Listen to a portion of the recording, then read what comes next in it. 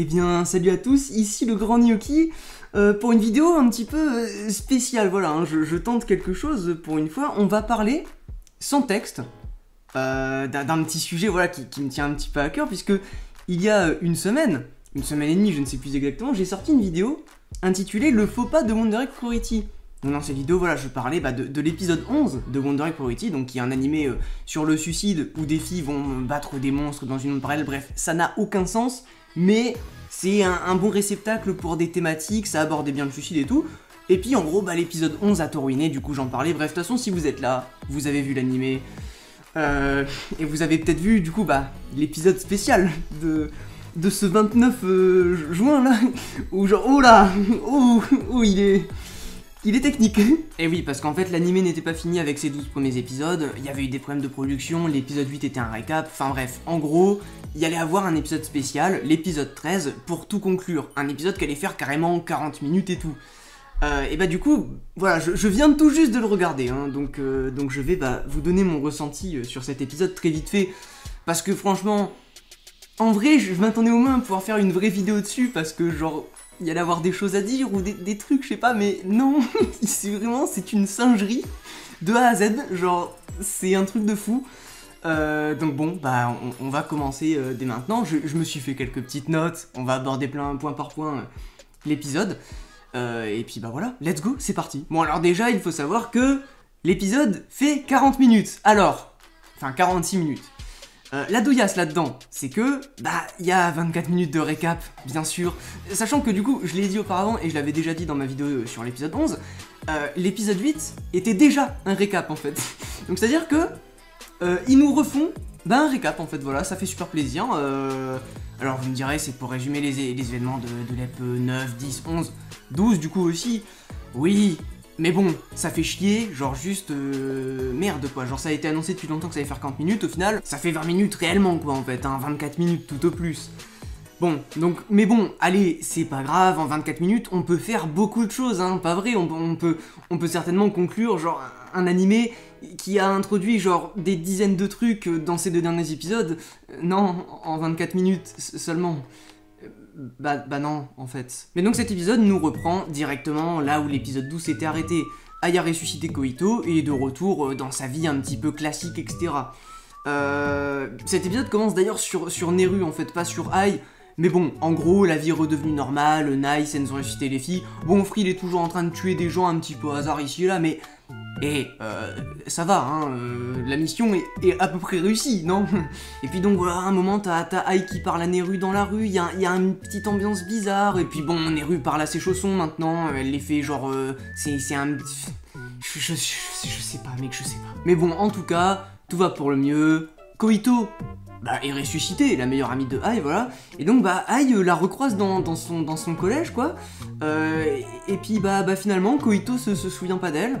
Euh, et, elle, se moque d'elle avec une nouvelle amie qu'elle a eue. Et on apprend, au passage, la raison du suicide de Koito, même si bon, au point où on en est, est-ce que les raisons des suicides des filles ont encore une importance? Grande question. Mais bon, on apprend donc qu'apparemment, Koito aurait eu une relation amoureuse bizarre avec l'un de ses anciens profs, et que du coup, euh, Sawaki, là, le, prof de, de Ai, genre, elle le tenait un peu, genre, en, chantage, en mode, euh, ouais, euh, là je suis sur le toit et je vais sauter si tu ne viens pas. Et, puis même à un moment, apparemment, euh, elle criait sur tous les toits que, que le prof l'avait violée, enfin, ça n'a... Ça n'a aucun sens. J'ai juste rien d'autre à dire. Donc bon, on oublie toutes les raisons de harcèlement, de machin, de nana. Non, là, clairement, Koito était une folle, tout simplement. Ok, ok, ouais, c'est... Ça commence mal, mais vas-y, allez, on continue. Peu de temps après cette rencontre avec Koito, Ai rencontre Neru. Et là, euh, Neru en mode euh, PTDR, t'es qui Et genre elle lui dit, euh, je suis pas ta pote, de quoi tu me parles et tout. Genre, je suis en mode, oula, what the fuck et tout. Et en fait, c'est sa sœur. Mais oui, parce qu'en fait, Neru a ressuscité sa sœur. Et en fait, bah du coup, la, meuf que Ai rencontre, c'est sa sœur. Bon, euh, nickel, on fait comme ça. Et c'est là où en fait on se rend compte que euh, Lep se trompe peut-être un petit peu de focus, parce que certes, Neru n'a pas de backstory dans l'animé pratiquement, enfin on sait juste euh, vraiment le minimum, la surface, en mode elle s'est faite poignarder par sa sœur, sa sœur s'est suicidée, bon, ok, mais genre, je veux dire, il y a des choses plus importantes à traiter dans un dernier épisode, comme, comme Frill par exemple, comme la lutte finale contre elle, comme la lutte contre ses amis, le, combat, je sais pas, des trucs comme ça. Mais non, euh, l'animé se dit que finalement c'est énorme de finir sur la backstory de Nehru, et, c'est totalement ce qu'il va faire hein, d'ailleurs. Mais donc bref, scène suivante, Ai se retrouve avec euh, Rika et Momoe dans un bar, euh, dans un karaoké. Donc parce que à ce moment-là de l'EP, tu peux te dire que genre tout le monde a oublié Ai ou je sais pas quoi, mais en fait non, c'est bien seulement Koito euh, et euh, Neru, enfin pas vraiment du coup, juste Neru est pas là et c'est sa sœur, donc en fait c'est c'est un prank, tu vois, c'est une caméra cachée. En fait, euh, Ai s'est pas fait oublier de tout le monde, juste de Koito. Et on apprend du coup dans cette scène avec Rika et Momoe que toutes les filles ressuscitées ont oublié euh, bah on tout oublie en fait, on, a perdu la mémoire. Et donc là Rika est en mode de ouais je vais aller me taper avec euh, et tout, et Momo est en mode ouais non mais enfin pas chaud en vrai, genre non euh, et tout. Bon, euh, une scène chiante, Momoe après est totalement Osef, on ne la revoit même pas hein, de l'EP, juste bye bye. et, et, puis donc après, bon bah voilà, Rika reçoit un appel de la manager de Neru, et on apprend que Neru est porté disparu, euh, bon, et puis que du coup, ce que j'ai dit avant, voilà, euh, la meuf qu'a rencontré Ai, c'était sa sœur, parce qu'on ne le savait pas à ce moment-là. Puis donc, bah voilà, elles vont rencontrer la manager, euh, parce qu'elles sont en mode, ouais, je vais vous montrer le dernier rêve de Neru, parce que, je ne l'avais pas dit, mais vous le savez si vous avez vu l'animé, mais bon, on redonne le contexte quand même. il faut savoir que, enfin, la société de Neru a une technologie pour voir les rêves à l'intérieur bah, du monde des œufs. Bon, Bref, la science n'a aucun sens, au cas où ce n'était pas déjà assez clair. Mais non, bref, Ayerika se rend bah, euh, à l'appartement de Neru. pas une seule fois on le voit dans l'anime, hein, mais bon, apparemment elle avait un appartement. Elle s'y rend, la manager euh, dit ouais, euh, allez, on va regarder le dernier rêve. Et là, qui on voit sur le canapé là? Kotobuki. Donc Kotobuki qui est l'ami là euh, qui, s'amusait à genre euh, se faire euh, mourir à moitié là en mode parce qu'elle voulait percer les mystères de la mort ou je sais pas quoi la mes couilles et que genre elles ont débranché à la fin de l'EP bah, de l'EP 10 9 10 je sais plus 10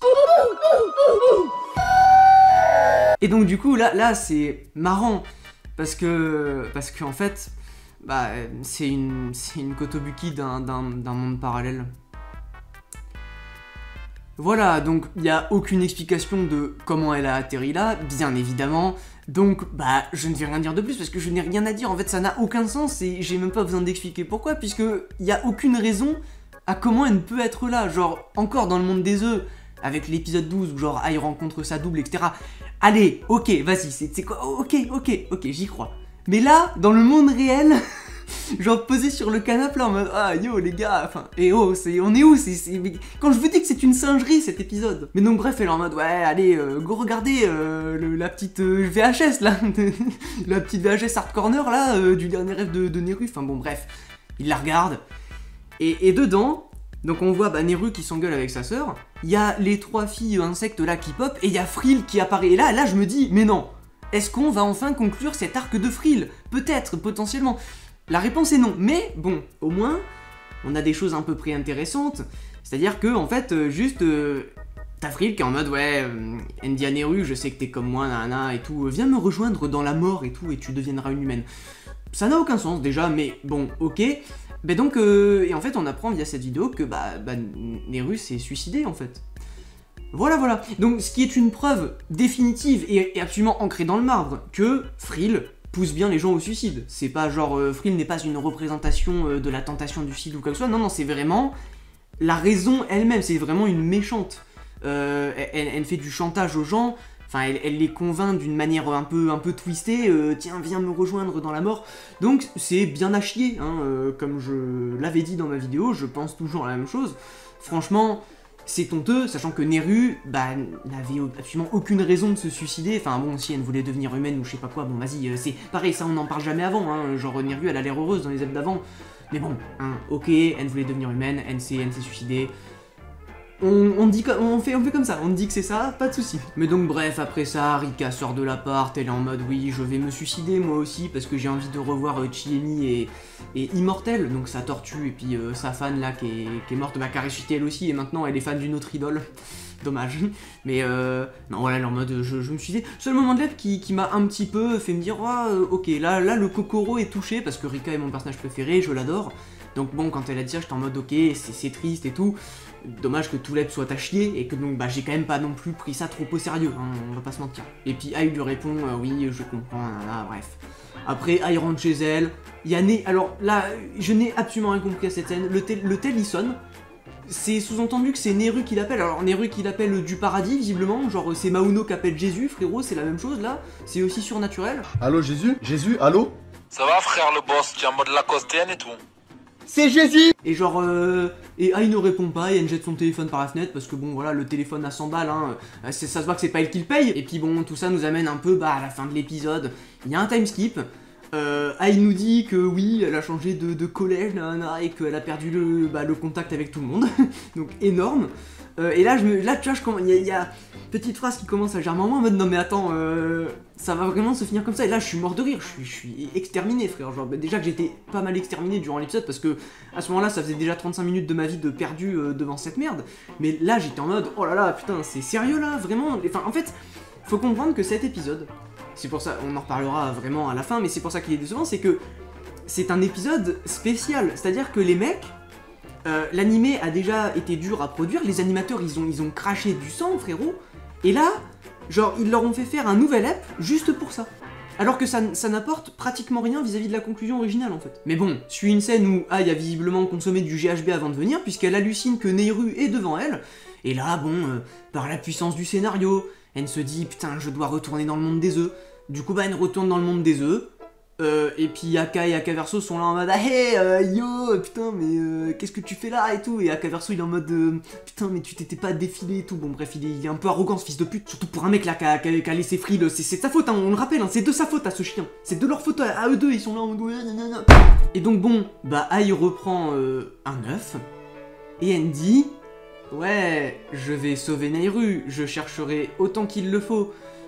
Ayoto et ressuscité. Donc, euh, comment, le, dire? Bah c'est... Alors, pour moi, c'est soit que les mecs, ils savaient vraiment pas comment terminer ça et qu'ils se sont rendus compte qu'en fait, oups, on pouvait pas terminer ça en un ep, euh, ou alors que c'est un tease pour une saison 2. Et, et ça m'a tout l'air d'être un tease pour une saison 2, ce qui est absolument...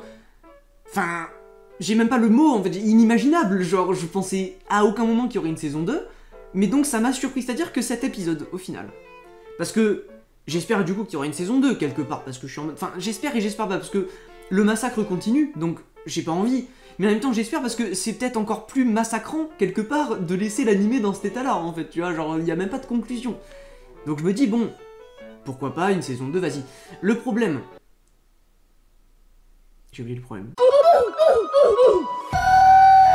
Le problème, c'est que en l'état, cet épisode n'a adressé aucune des questions laissées par les deux derniers épisodes. Genre, sincèrement, on n'apprend pas plus de choses sur Frill, on n'apprend pas plus de choses sur la dimension des œufs, on n'apprend pas plus de choses sur la nature de comment Frill influence les gens, il n'y a même pas de combat contre Frill ou quoi que ce soit, c'est la backstory de Nehru. Et donc, c'est pour ça que je ne, je ne vois pas l'animé finir là, parce que ça n'a pas de sens en fait. Ça fait deux ep euh, qu'on te tease que Frill va y avoir un affrontement avec elle, même carrément dans l'ep 12, euh, en mode ouais je vais devenir une guerrière de Thanatos ou je sais pas quoi, parce qu'il balance, des noms random à l'épisode 11 en mode ouais euh, euh, seules les guerrières de Thanatos peuvent se, soulever face à l'oppression de mes couilles ou je sais pas quoi là genre. Donc bon bref. Mais donc malgré tout ça, et bah pour- en, l'état pour l'instant il n'y a pas y a, y de a pas de confrontation avec Frill, il y a rien du tout. C'est pas une conclusion en fait c'est un tease, c'est le début de quelque chose d'autre, euh, tout au plus, mais c'est pas une conclusion. Mais genre, en même temps, j'ai la... C'est pour ça que c'est bien parce que c'est clairement un tease pour une saison 2, mais j'ai en même temps l'impression bizarre qu'il y aura jamais de saison 2. Euh, donc bah bon, c'est chiant. Euh, et, voilà, et au final, moi, moi franchement, cette tête, il me fait mourir de rire. Parce que c'est une singerie en fait, c'est une singerie. C'est-à-dire que les mecs vraiment avaient de l'or entre les mains. Ils ont déjà euh, genre un peu chié dessus à l'éponge, mais alors là frérot, genre mais si si mais ar- arrêtez-les, arrêtez-les, genre c'est n'importe quoi. Genre là, les man ils veulent te faire une saison 2. Ou alors ils veulent arrêter ça là. Dans les deux cas, ça pue sa mère en fait, genre c'est vraiment nul à chier. Donc je j'ai rien à dire de plus en fait, genre j'attendais au moins un minimum de contenu de cet épisode, mais sincèrement, ne le regarde si vous ne l'avez pas vu. Bah de toute façon, si vous ne l'avez pas vu, si vous êtes encore là, euh, enfin what the fuck, mais ne le regardez pas, il ne sert à rien. Genre sincèrement, ce que ça apporte vis-à-vis de, l'EP 12, bah, c'est inexistant en fait. Ou alors on s'en fout, on s'en bat les couilles, genre vraiment, et, et c'est pas satisfaisant en plus. Parce que pendant tout l'animé, t'es en mode nanana, ouais. Par exemple, par exemple, le suicide de Koito. Moi, je me suis, c'est l'un des points qui m'a vraiment vendu l'anime. Les, deux premiers ep, genre quand il y avait les scènes de Koito, de son passé et tout, j'étais en mode ok, let's go, genre j'ai envie de savoir, euh, nanana. Euh, et c'est vraiment une question, voilà, euh, pourquoi Koito s'est suicidé C'est vraiment une question à laquelle j'avais envie d'avoir une réponse. Le problème, c'est que cette ep a même ruiné ça en fait. Genre, c'est pas satisfaisant. Non, mais la réponse au suicide de Koito, frère, je, sais pas, j'ai peut-être mal compris, hein, si ça se trouve, c'est pas vraiment ça. La réponse à son suicide, c'est qu'en gros, elle manipulait le, prof là. Euh, elle faisait du chantage en mode euh, si, si tu viens pas, je saute du toit ou alors je dis à tout le monde que tu m'as violé. Et du coup, un moment, même, parce que ça je ne l'ai pas dit au moment où j'en ai parlé de ça, mais la phrase finale c'est à un moment, tout le monde l'a quitté des yeux et elle a glissé. Genre, la, juste la, l'explication canon du suicide de Koito, c'est Oh mec, elle a glissé, putain. Enfin, frère Allô C'est quoi C'est. Mais c'est. Mais. On est où On est où là? C'est quoi ce bordel, frère? Genre n'importe quoi Donc, donc bref, j'ai- Je vais pas rallonger cette vidéo plus que ça, c'était pour faire une vidéo là-dessus, vu que j'avais dit que j'en ferais une. Et vu qu'il y a vraiment rien à dire, bah. Juste, bah, contentez-vous de ça. J'ai envie de dire, j'espère que c'était pas trop nul en vrai, genre parce que c'est la première fois que je fais ça, donc j'espère que ça vous aura plu. Mais genre, j'ai rien d'autre à dire, je peux pas faire une vraie vidéo là-dessus, c'est impossible, il y a juste rien à dire, c'est tu sais. En fait, c'est comme si je faisais une vidéo, genre, sur vraiment euh, un prank. Pour moi, cet épisode, c'est une singerie. C'est ni plus ni moins qu'une singerie. Et genre, je vais pas me faire chier à écrire 5 pages sur une, singerie. Même si je le voulais, je ne pourrais pas, parce qu'il y y a rien à dire en fait. Donc je préfère euh, le dire à chaud comme ça.